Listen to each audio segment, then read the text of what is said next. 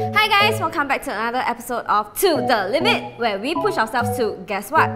The limit!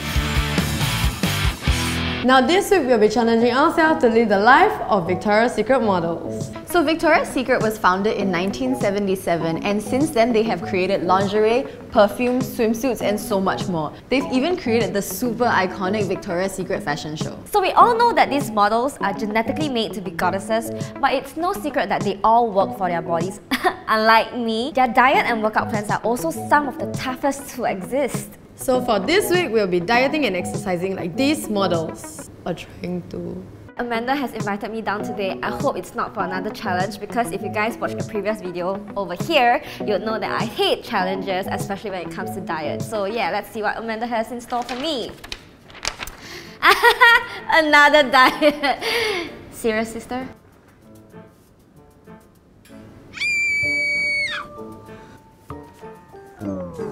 No. No, I don't want. No. Some things that we have to do are to work out at least once a day for 60 minutes. I think I'm a generally very fit person, but even I don't work out 60 minutes a day. I work out like 60 minutes a week. Look at my face, I'm so excited. I love you so much, my gosh. What is flaxseed? Oh, it comes with a list of what I can and cannot eat. Let's see. So what I should avoid includes salt, dairy, excess carbs, white carbs, fried food, sugar, gluten, and processed food. Okay, so I love my bubble tea. How dare you? I love my rice. How dare you? I think my only problem will be that I do enjoy snacking. I snack all the time. I snack on gummy bears, I snack on like sugary drinks, I snack on potato chips all the time. So that might be a little bit of a problem. I think if I limit my carbs and dairy and all of these things, right, I'm gonna be severely underweight. It's gonna be a challenge for me because whatever things I should eat, right, is things that I do not eat. So I'll try to avoid everything and then I'll end up not eating at all and then that's it. I'm not gonna lose anything, I'm gonna lose my life. Amander, I really don't wanna do this. So this week, I will be joining the three of them, Sierra, Juhi and Jasmine. So for me, since I'm the one who pretty much put them on this diet, right, I will have to take it a bit further in the sense that I can't cheat at all. That is my number one goal. Okay, now to think of it, right, I'm a bit scared. Now I look at the paper, I'm just like, a bit scared. Sierra, does it mean that I can't eat any bread at all? No bread. Let's go. Good morning. It is the first day and I just finished my workout. So I just did that and now I'm gonna make breakfast because breakfast is the most important meal of the day. Hi guys, so right now I'm still in my exercising clothes and I am ready to eat lunch. My food looks super plain. I have like steamed fish, steamed broccoli, um, steamed tofu and two pieces of quail which I stole from my mom. So we're gonna try this thing called Tabata and it's like a very good high intensity workout which is kind of like what models do so hopefully it will be accurate-ish. We are having dinner and uh, I have to say I'm gonna cheat because I got no choice. Cheater! because this restaurant's food is all super good. I'm not gonna like not eat, okay? Happy birthday to you! I know I'm supposed to exercise tonight, but I can't. So I'm just gonna sweat it out on the dance floor. That's considered exercise. That's considered cardio, okay? Right then, dancing is considered cardio, right? It is. Right, Reed. Right. Huh? Just say yes. Yes. Yes. I tried aerial yoga. It was actually interesting. It was super fun because I was like hanging on strings and all. But it's not as easy as it seems and like, yes. Going out with your friends, going on a date, going out anywhere is so damn difficult. I had a birthday party where they were like drinking constantly and they were eating so good fried food and I'm there holding my damn Tupperware filled with salmon and stupid broccoli.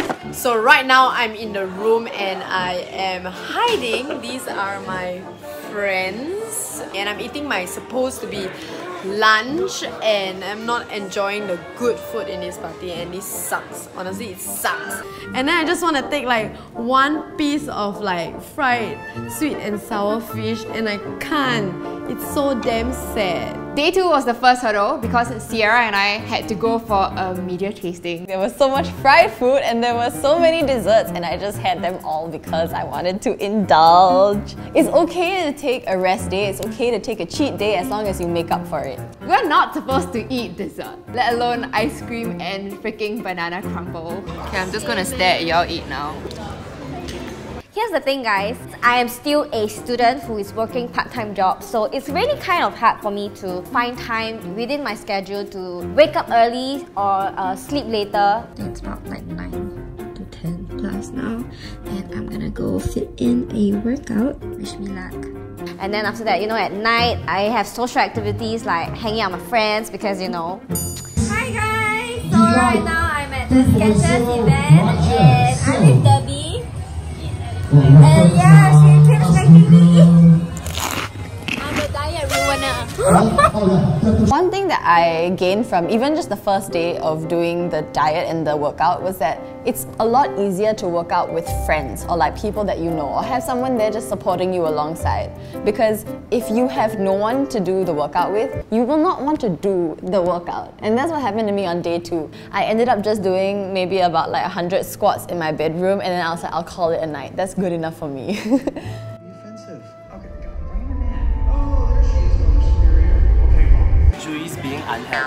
So right now I'm at McDonald's having breakfast once again and I'm having pancake and this and oh my god I feel bad for breaking the rules but still let me just enjoy my breakfast. On the third day, which was a Thursday, I went to dance class because I love dancing. This class was a dance hall class, and for you, those of you who don't know what dance hall is, it's a dance form that relies very heavily on your thighs.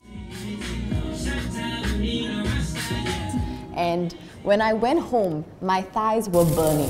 So stupid me, I went to arrange dance on Thursday night and boxing on Friday morning. I've never had my butt kicked harder than in those 12 hours. Then brother did the chain, torn off for the watch, Prezi plain Jack. How do you still have so much energy? I hate you. Yeah, and now we still have to go to work. I don't feel physically extremely tired. I just feel very brainy at this point of time. Not my legs are. Help, Sierra has passed out. Good morning, Sierra. Okay, so I know that today I was talking about how difficult the class was, but honestly, it was so bad. I've never had my butt kicked more than last night and this morning. Like, my whole body is suffering from really bad exhaustion, but my mind is still very active, so I can't go to sleep. It's day four and I'm not having fun. I don't know how I'm gonna do tomorrow, but we'll see.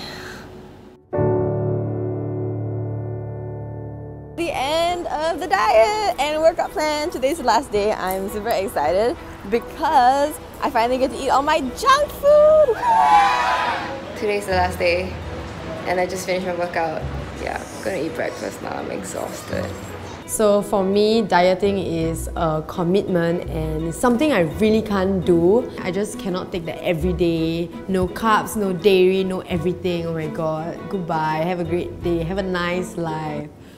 It's not for me. So the thing I appreciated the most, right, is my flat stomach afterwards. Because I always have this pregnant looking stomach after eating lots of sugar and lots of fried food and lots of good food. You feel really good after exercising. You feel like, oh my god, tomorrow abs is coming out. But absolutely nothing came out. Would I try this again? The answer is no, and here is why. I believe that diets are very temporal. If you diet too strictly and then after that you eat per normal, you are going to gain back some weight. That's what we call yo-yo, yo-yo weight. I think I'm gonna stick to what I know best is to eat healthy as much as I can, but of course when I want to indulge, I indulge in the stuff that I know I want to indulge in. At the end of the day, you need to do what's comfortable for you. Overall, I don't think the dieting was very difficult. I thought that was quite easy because from the K-pop diet to this one, honestly anything is better than that for me. but the workout was quite a challenge.